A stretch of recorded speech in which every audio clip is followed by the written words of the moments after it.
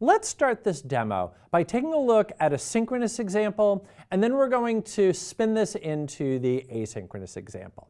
So for our example in both cases, what we're going to do is we're going to make a call out to a, a little web service that does kind of very simple things for us. Um, in this case, what it's going to do is it's going to delay. It's basically a, uh, a REST API version of a sleep call. Um, I, I, personally don't like doing demos with uh, uh, that really depend on sleep calls. You are going to notice I'll, I'll, do a little bit of that in the, uh, in the other one, but I generally try to avoid that just because I don't think that they're necessarily real world, that whenever I look at that, I'm like, oh, well, you want to improve performance? Just take out the sleep call problem solved. Um, maybe that's just me. But, uh, but yeah, so, uh, so instead I always like to call out to some other service. Um, and this is just sort of a, a, simple way that we can do this. So more than anything else, it's just, it's a fancy uh, sleep call just because of the fact that we're calling a, uh, an endpoint.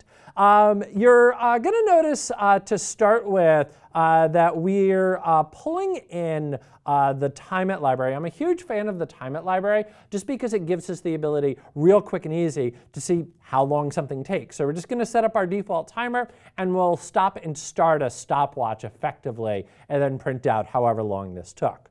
We're going to bring in the request library, which um, we talked about in our uh, prior Python videos, and this is by far the most common library for making uh, HTTP, HTTPS calls.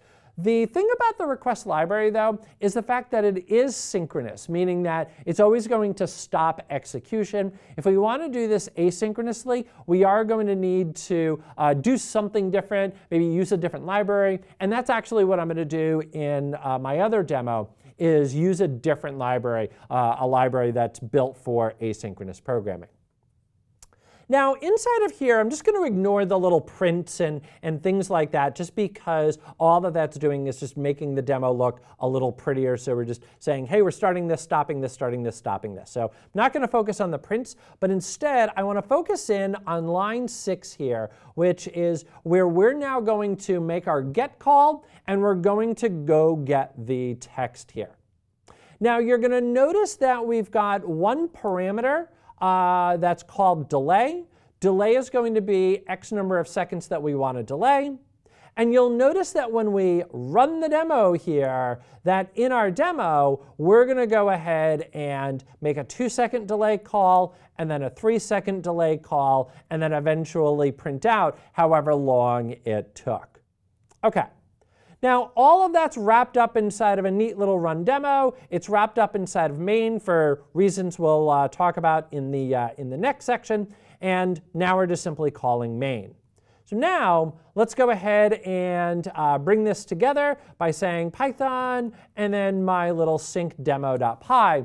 And what you're going to notice is that this is performing the operation synchronously. So it started the two second delay and then finished. It started the three second delay and then finished. And you'll notice that the entire operation took 6.3 seconds. Again, that extra 1.3 is just because of, of how long it took to spin up and tear down the appropriate connections. That's not necessarily a great way to, uh, to, to, program that. If I'm working with something that's single user, maybe I'm putting this inside of a Jupyter notebook, by the way, there might be another course where we talk about Jupyter Notebooks. Go check it out. Um, but if I'm putting this inside of a Jupyter Notebook, it's just me. I'm not necessarily doing anything else. I can't move without waiting for uh, the, the value here. Then just go ahead and do this. But if I am building something up that's going to be multi-user or I want it to be better performant, then I'm going to need a, uh, a better answer. So this is that next section that I'm talking about. This is now where we're going to get in and start to uh, work asynchronously. So what I want to highlight up at the very top here is we're pulling in two little libraries here. We're pulling in, first of all, um, AIO HTTP. Now, the big thing that I want to highlight about this is the fact that this is another library here. So it's not the request library. This is not built in for, uh, for, with Python, but rather it's a different library. AIO HTTP is all about async IO and making HTTP calls. Now, the way that this does its magic is it's all based around a session object. And typically what you'll do is you'll create one session and keep reusing that over and over and over again. And this actually gives you a little bit of additional performance because of the fact that it's able to reuse that connection if possible. So it does a little bit of connection pooling for us automatically. And in fact, we can see right here that we're going to create that session one time. Now you are going to notice that if we're going to use await inside of a with, that we do need to mark that as async. Now, why is async important here? Well, the reason that async is important is because it's basically telling our runtime, hey, there's going to be an await command in here. And the, the, the key to an await command working is that my runtime needs to understand what that is. My runtime needs to understand, hey, we need to pause here. That's why we have that async. Now, having that on a method might make sense because after all, we're going to call uh, await uh, eventually on that method, so maybe it makes sense there. And then on top of that, when the method ends, I mean, it just simply ends at that point. So we want to make sure that the runtime knows that somewhere in here, there's potentially going to be a, a blocker, there's going to be an await. With behaves the exact same way that if you remember back to the prior module, we saw with, and the whole thing about with is that it's going to do automatic cleanup for us. Well, we don't want it to clean things up before we're done using them. And so again, when we're going to have that await, we're going to pause right here, wait for something else to complete somewhere else. As a result, we need to make sure that the outside is aware of that fact. That's what async is doing, is it's letting everything know, hey, inside of here, we're going to have a pause for something else. Don't leave without me. That's, that's, that's basically it here. So that's why we have that both on the with statement here and on the little uh, function. What you're also going to notice right here is we're going to do the exact same thing with that load data, put in a two and a three second delay, but this time we're going to pass in the session. And then if we spin it on up to the top, what I want you to notice is sort of a similar syntax here, where now we're going to go ahead and call that session get, and then we're going to go ahead and grab the text from that. Now you're going to notice that I've got my await right here because calling out to get the text, that's going to be an asynchronous operation. So that's what's going on here. That's the setup for that AIO HTTP. So it's a little bit more work than, uh, than we had for our requests because of the fact that it's asynchronous. Now what makes the asynchronous magic happen in Python is this async IO. Now async IO is new to Python 3.4, and it's had a lot of changes.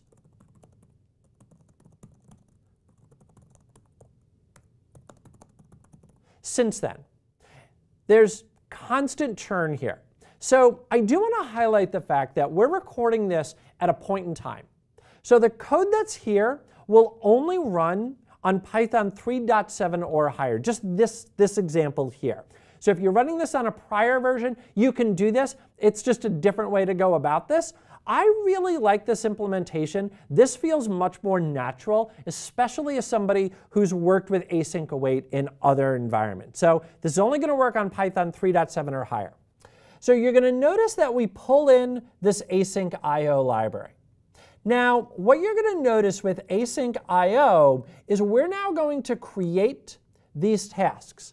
This is basically that process, or that promise rather. This is where I'm going to say, hey, load data, go do something. Go do this. And then when you're done, make sure, promise me that you'll let me know that you're done. Promise me that you'll go get that value and you'll give it back to me when I ask for it. That's what's happening here. So we're setting that up. And then what we're going to do is we're going to say, all right, now we're ready for that value. So now I'm going to say, hey, give me the value back from the two task. Hey, now give me that value back from the three task. Now, I'm not printing them out in this case, um, mostly just because it generates a lot of noise on the screen, because what the text gives me back is the full JSON um, uh, response from the, uh, from the endpoint, and it just gives me a lot of extraneous data. So I'm just trying to keep things uh, relatively streamlined here, so I'm not going to worry about printing that out. I'm just simulating grabbing the values here. That's really the important part, is that ability to go ahead and grab the value. Now, what's great about setting up those tasks is the fact that I can do other work here. So that other work might take a little bit of time. So this is now where I'm going to do that sleep. So now I'm going to sleep for a second, and then I'm going to print out doing other work. And then finally, at the very end, we'll print out whatever the timer was. And when I run this code, what you're going to notice, let me just clear my screen here, is